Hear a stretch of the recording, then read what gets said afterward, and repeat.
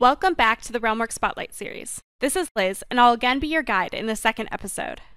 If you haven't done so yet, I recommend first checking out the initial episode, as it lays important groundwork for the whole series. This week, I'll show how Realmworks makes it simple to track all the intricate connections of a complex story, saving you time in the process.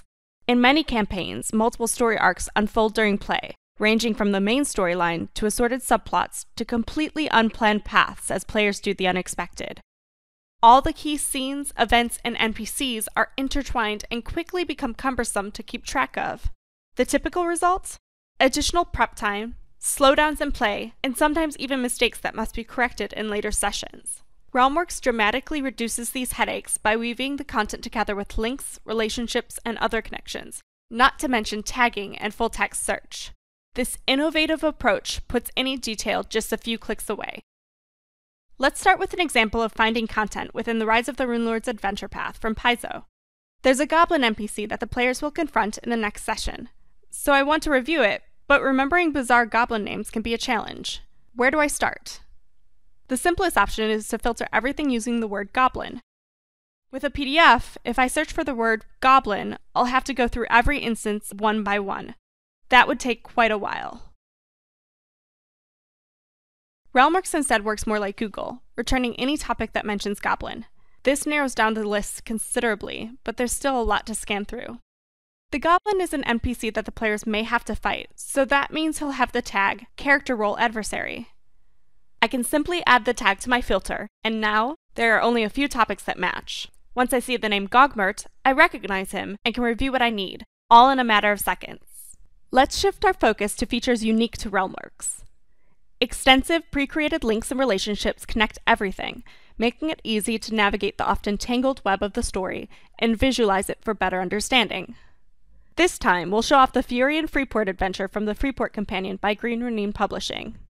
This adventure centers on the pursuits of a Porcus beetle, an NPC who initially recruits the PCs to do his dirty work. The word centers is important here. In most adventures, there are key people, places, and things that are central to the story and around which large portions of the plot revolve. With prose-based content, it's very difficult to follow all these connections. Realmworks linking capabilities make this easy. We start with a topic for Beetle. Within the body of this topic, you'll see various terms highlighted as links. Just like a web page, simply click a link and the appropriate topic is loaded, or open the link in a new tab. The navigation history also allows you to backtrack. Everything linked with Beetle is listed in the panel on the right, in one convenient place. Clicking on an entry in the panel navigates the same way. A key difference from wikis is that Realmworks also shows you everything that links into the topic. Next to each topic is an arrow that indicates the direction, which either can be outbound or inbound or both. This makes it possible to see all the places where Beetle is referenced, like the events in the Fury in Freeport adventure or the Wicked Emerald Dagger. This visual reference gives you the full picture of exactly how Beetle is woven into the story, making it easy to simply follow the links.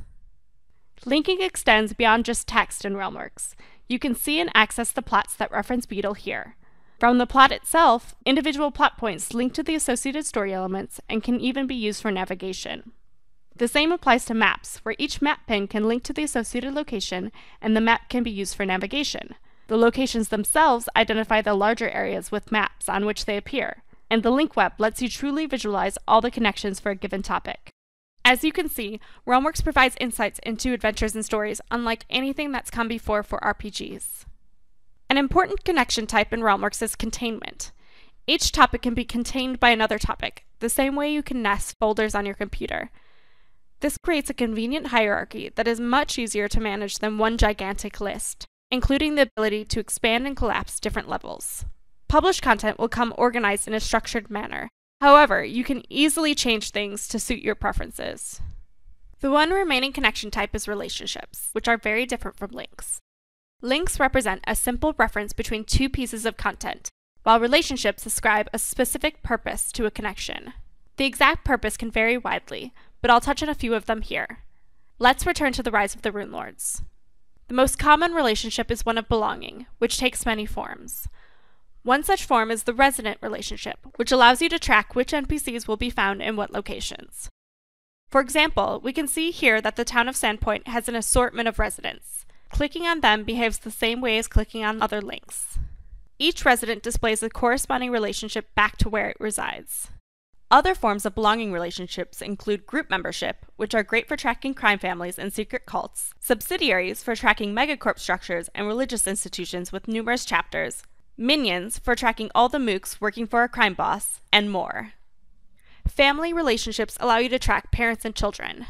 You can also differentiate lineage from simple parenting, such as might be needed for plots involving royal or perhaps vampiric bloodlines. Narrative relationships tie the key people, places, things, and events of a storyline together. Equivalence relationships make it possible to readily manage secret identities, like Batman and Bruce Wayne. You can even track public versus private attitudes. Realmworks provides relationship types to cover the vast majority of situations that will come up within games. Thanks for joining me as I showed off the key ways in which Realmworks weaves content together to save you time, both during prep and at the table. In future installments, I'll preview additional features that will take these connections to a whole new level. Next week, we'll explore how Realmworks tracks exactly what the players do and don't yet know, as well as convenient ways to ensure GM-only knowledge never gets accidentally disclosed. If you'd like, we can email you when the next installment is out. Sign up here to receive an email with every new update. Sign up here to subscribe to our YouTube channel. Don't forget to ask questions for us to answer in future episodes. Click here to learn more. Thanks for watching our second episode. We'll see you next week, and happy gaming!